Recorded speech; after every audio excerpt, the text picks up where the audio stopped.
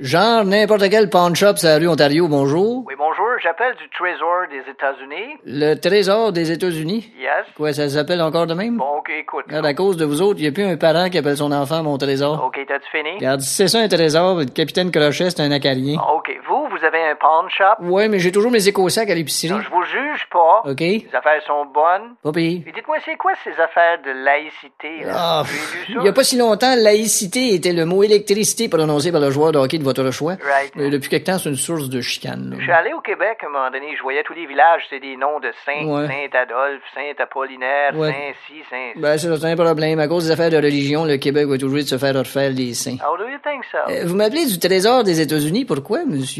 Oh, est-ce que je me suis pas présenté? Ok, ben, c'est pas grave. En fait, l'auteur a oublié de me donner un nom. Ok, ben, mettons Smith. Ok, go for Smith. Bon, alors que puis-je, monsieur Smith? Bon, alors juste au cas pour si jamais on était en défaut de paiement demain. Ouais, excusez, mais c'est quoi, c'est un défaut de paiement? C'est un paiement qui est pas là. Ok? Défaut égale pas là. Oui, mais. Le Canadien joue contre Boston, Boston n'est pas là, le Canadien gagne par défaut. Ok, mais dans cet esprit-là, tu rentres dans une maison vide, c'est une maison remplie de défauts. Non, en fait- Téléphone quelque part, tu dis, je peux parler à Georges, s'il vous plaît. Là, il dit, Georges est pas là. Il dit pas, Georges est en défaut. Non, Être en défaut. Si vous dites à défaut de Georges, puis-je parler à Claire? Ouais, mais j'appelle pas parler à Claire. Je parler à Georges. Puis il dit, Georges est pas là. Il pourrait dire, Georges est en défaut. Oui, mais pour quelle raison vous parleriez pas à Claire? Ça n'a pas rapport à cette question-là. Yeah, I know. Anyway. J'étais avocat avant. Alors, vous voulez quoi exactement? Je voudrais vous laisser le Grand Canyon en gage à votre pawn shop Hein? en échange d'un milliard deux cent cinquante millions. Le Grand Canyon.